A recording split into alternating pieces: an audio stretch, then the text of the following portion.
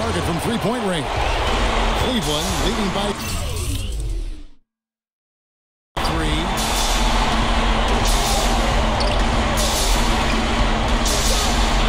Here's LeBron. Rockets with some nice D. Phoenix has gone one or two from long range in the first quarter.